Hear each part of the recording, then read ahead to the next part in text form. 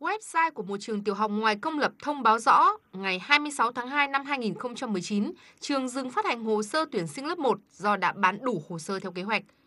Thông tin cho phụ huynh những điều cần biết khi đăng ký nhập học cho con vào trường cũng chỉ rõ ngày tháng của thông báo kết quả trúng tuyển và mời phụ huynh đến nhập học với 5 đợt và đã hoàn tất trong tháng 4 năm 2019. Và vào ngày 30 tháng 6, một ngày trước đợt tuyển sinh vào các trường công lập, trường này dự kiến sẽ gặp gỡ cha mẹ học sinh lớp 1 mới. Nhìn vào lịch trình này có thể thấy việc tổ chức tuyển sinh lớp 1 của trường rất bài bản và đã hoàn thành từ rất sớm. Nếu so với lịch theo quy định từ ngày 26 tháng 5 đến ngày 12 tháng 7 của Sở Giáo dục và Đào tạo Hà Nội. Đặc điểm riêng của các trường dân lập là gì là nó cũng giống như mình đi tìm khách hàng ấy. Đấy, cái nhu cầu thứ nhất là về tìm được cái khách hàng nó phù hợp với cả cái có cái nhu cầu. Thứ hai là gì là cái công tác này bọn mình buộc phải làm trong năm học và phải kéo dài. Đấy.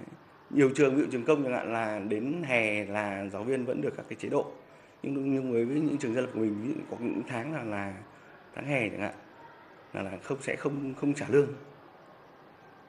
đó cho nên nếu mà đợt đấy mà bị lôi cán bộ giáo viên đi làm thì rất là khó Lãnh đạo nhà trường vẫn khẳng định trường không tuyển sinh sớm và sẵn sàng chấp nhận những quyết định nếu có từ thanh tra của Sở Giáo dục và Đào tạo Hà Nội. Không có danh sách học sinh là một. Mình nói lại là danh sách học sinh sau quá trình sơ tuyển thì bọn mình bao giờ lập cái danh sách.